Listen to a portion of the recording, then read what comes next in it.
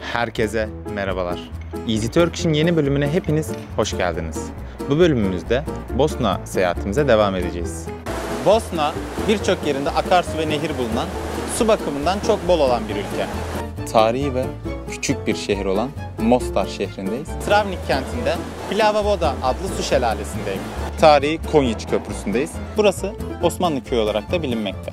Türkleri gördüğü zaman biraz heyecanlandı. Tarih önemine gelecek olursak, Türklerde filmleri de yapılmış olan, bilinirliği olan Malkoçoğlu'nun kalesi olarak da biliniyor Travnik Kalesi. Bir rivayete göre de eskiden erkekler evlenecekleri kızlara cesaretlerini gösterebilmek için köprüden atlıyorlarmış.